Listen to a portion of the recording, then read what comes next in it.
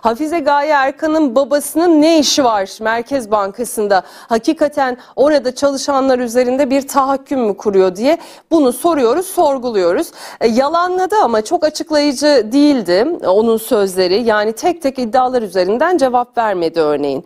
Şimdi iktidar kanadından da şimdiye kadar bir açıklama gelmiş değil. Ne olacak hakikaten merak ediliyor ama muhalefetin gündeminde konu. Erdoğan'la görüşecek mi bugün? Bu soruya yanıt vereceğiz birazdan. Önce gelin eleştirileri dinleyelim.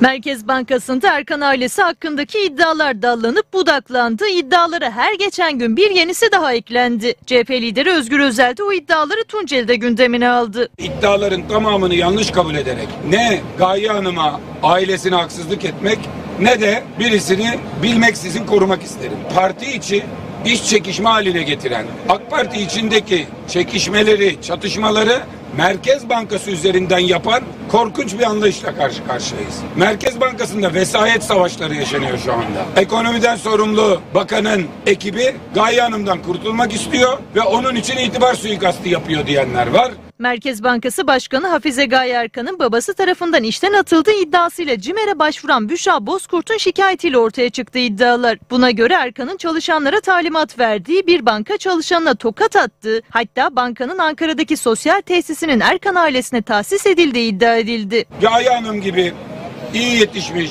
özel sektörde de olsa önemli görevlerde bulunmuş birisi iktidar partisi tarafından Türkiye'ye getirildi. Faizlerle ilgili başka bir yola girdi. Rasyonel politikalar uygulayacağız dediler. Merkez Bankası'nın burada bağımsızlığı son derece önemli. Bu bağımsızlıktan rahatsız olan birilerinin söz dinlemiyor diye genç, iyi eğitimli, küçücük çocuğu olan birisinin özel hayatı, ailesi üzerinden giriştiği itibar suikastı doğru bir iş değil. Görevden mi alacaksınız? Efendi gibi alın görevden. Bunlar saray entrikaları. Hafize Gaye Erkan iddiaları yalanladı, yargı süreci başlatacağını duyurdu. Baba Erkan ise iddialar karşısında komplo yorumunu yaptı. Hatta tokat iddialarına karşı banka çalışanıyla aralarında geçen mesajları paylaştı. Daha da ileri gidiyor iddialar. Bazı personeller hırpalanmış. Bazıları yine babanın emri ve talimatıyla işten çıkartılmış. Ortaya atılan yeni iddialarsa Cumhurbaşkanı Erdoğan ailesine uzandı. Bankanın Veri Yönetişim ve İstatistik Genel Müdürü olan Doktor Yusuf Kenan Bağır'ın görevden alınıp iki gün sonra görevine iade edildiği öne sürüldü. Bağır'ın göreve iadesinde etkili olanın ise Cumhurbaşkanı Erdoğan'ın oğlu Bilal Erdoğan olduğu ileri sürüldü. Bağır ile Erdoğan'ın Kartal İmam Hatip'ten okul arkadaşı olduğu belirtildi. Bakalım Sayın Erkan buna ne diyecek diye kendisinden randevu talep ettik. Öğrendik ki Amerika'daymış. İddiaların açığa kavuşturulması için Erkan'dan randevu talep eden İyi Parti Balıkesir Milletvekili Turhan Çömez de bir kez daha Erkan'ın ABD ziyaretini gündeme getirdi. Merak ettik ne zaman gitmiş diye.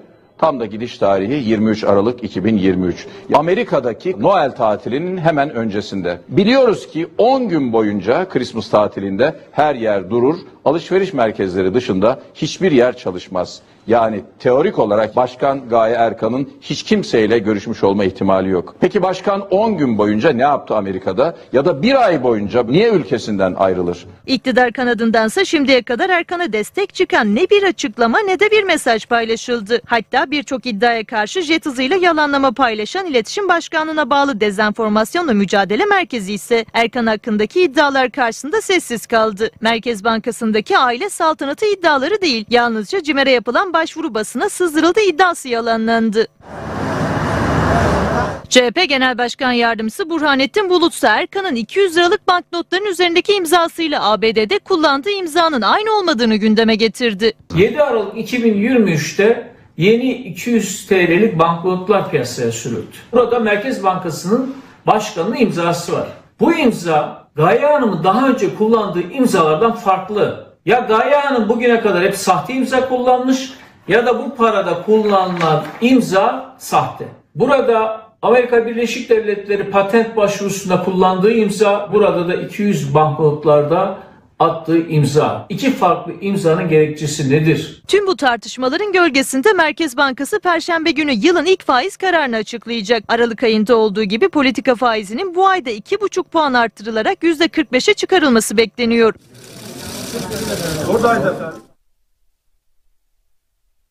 Yani bir türlü bu konuda iddialar üzerine tek tek kapsamlı bir açıklama yapılamadı. İşte Gaye Erkan'ın babası bir çalışanla mesajlaşmasını e, aktarıyor. O bile aslında bir skandal. Şimdi dün bir belediye başkanı hani kaza geçirmiş dişlerini yaptırmayı da e, belediyenin kasasından almış ya bunu da çok böyle haklı bir gerekçe gibi sunuyor. Şimdi Hafize Gaye Erkan'ın da işte küçük çocukları olması onlarla ilgili ailesinin yanında olması bir başka çalışanın çocukları için bu kolaylık sağlanıyor mu? Ya da belediye personeli kaza geçirse dişleri belediyenin kasasından mı yaptırılıyor? Bazen hakikaten bunca skandal içinde insanların doğruları nasıl unuttuğunu da görebiliyoruz. Hala kapsamlı bir açıklama yok. Cumhurbaşkanlığından gelen açıklamada yani basına sızdırıldığı iddiası yalan deniyor da yani kaç gün olmuş şu iddialar gündeme geleli kapsamlı olarak kamuoyu aydınlatılamadı. Şimdi bugün e, görüşme yönünde Nuray Babacan yazmıştı gazete pencerede Cumhurbaşkanı Erdoğan'la Erkan görüşecek diye. E, Erkan ilk kez görüntülendi bu olaylardan sonra bu söylentilerden sonra. O haberi de izleyelim sonra Cumhurbaşkanlığından gelen açıklamaya bakacağız. Programın çalıştığına dair ilk emareler çıkmaya başladı. Bunların süre gelmesi bizim için önemli. Yılbaşı sonrası yatırım toplantılarına katılmak için Amerika Birleşik Devletleri'ne gitmişti. Bu süreçte hem kendisi hem de ailesiyle ilgili çok sayıda iddia ortaya atıldı. Merkez Bankası Başkanı Hafize Gaye Erkan, Ekonomi Koordinasyon Kurulu toplantısında ortaya çıktı.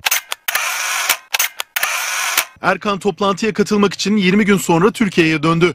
Beştepe'deki toplantıya Cumhurbaşkanı Yardımcısı Cevdet Yılmaz ve Hazine ve Maliye Bakanı Mehmet Şimşek de katıldı.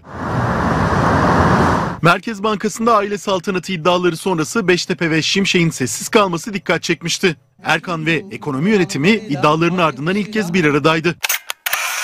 Gazete Pencere'nin haberine göre yarın da gözler Beştepe'de olacak. Cumhurbaşkanı Erdoğan'ın Hafize Gaye Erkan'ı Cumhurbaşkanlığında kabul etmesi bekleniyor. Erkan'ın görevinde kalıp kalmayacağının bu görüşme sonrası belli olacağı iddia ediliyor. Şimdi efendim yarın e, dün yapılan bir haber yarın deniyor ama bugündü söz konusu olan gözler bugüne çevrilmişti. Cumhurbaşkanı ile Hafize Gaye Erkan görüşecek mi görüşmeyecek mi diye. Ancak bir açıklama geldi. Cumhurbaşkanlığı İletişim Başkanlığı Dezenformasyonla Mücadele Merkezi'nden. E, şöyle denildi dün yapılan açıklamada. E, Cumhurbaşkanı Recep Tayyip Erdoğan'ın yarınki programında Merkez Bankası Başkanı Hafize Gaye Erkan'la herhangi bir görüşmesinin bulunmadığı bildirildi. E, yani şimdi program genelde resmi program açıklanıyor. Bazen bu yapılan e, görüşmeler duyurulmuyor. Resmi programda yer almadığını anlıyoruz. Yine çok açıklayıcı değil ve bana kalırsa şimdi Cumhurbaşkanlığı tarafından bu yalanlanıyor ama bu kadar şey konuşuldu. Normal şartlarda hani Merkez Bankası başkanları bağımsızdır. E, Cumhurbaşkanının böyle bu işe